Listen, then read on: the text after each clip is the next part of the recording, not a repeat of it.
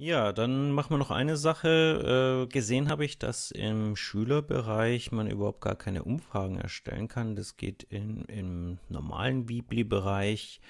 Äh, leider, das wäre jetzt noch interessant gewesen. Was jetzt noch übrig ist, ist hier dieses Social Media Icon. Wenn man das hier einfügt, dann hat man hier ähm, Platzhalter, Facebook, Twitter, Instagram, äh, LinkedIn und E-Mail. Um das Ganze abzusetzen, kann man natürlich hier noch so einen Teiler einfügen.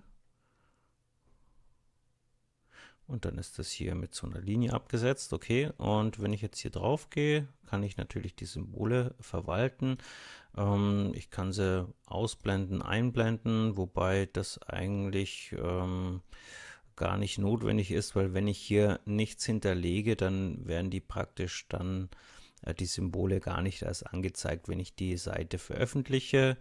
Ähm, gehen wir mal im Einzelnen durch. Also hier kann man natürlich nicht nur www.facebook.com eingeben, sondern halt mit dem Schrägstrich dann äh, zum eigenen Profil. Jetzt mal nur die Seite, Twitter, gebe ich mal nichts ein. Bei Instagram, das blende ich aus, dass man mal den Unterschied sieht.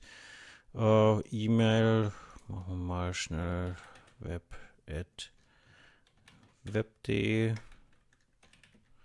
So. Okay. Dann gehen wir auf Veröffentlichen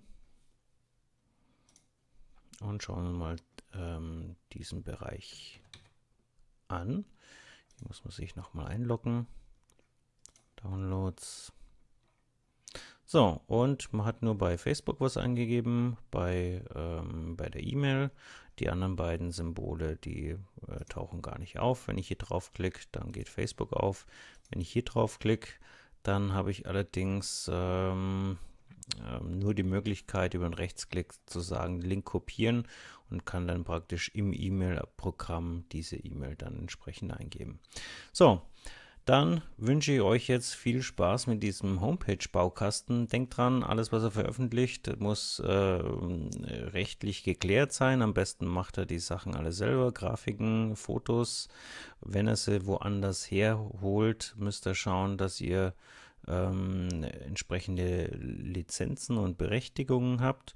Und ähm, falls die Seite öffentlich ist, dann braucht sie auf alle Fälle ein Impressum und eine Datenschutzerklärung. So, und dann wünsche ich euch jetzt viel äh, Spaß beim Layouten.